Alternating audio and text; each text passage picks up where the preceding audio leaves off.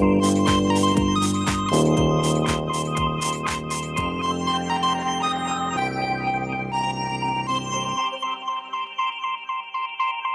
große Vorteil für die Therapieeinrichtung ist der, dass ganz spezifische Trainingsmaßnahmen oder Therapiemaßnahmen in der Einrichtung selber durchgeführt werden können.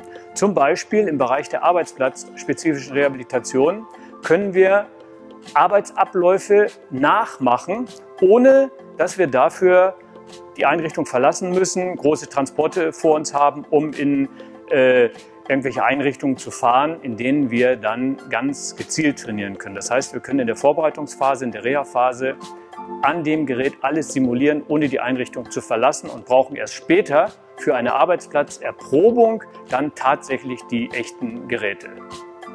Für die Therapeuten bietet sich die Möglichkeit, die Behandlung, die sie mit ihren Methoden durchführen, mit unbegrenzten Möglichkeiten durch dieses Gerät zu erweitern.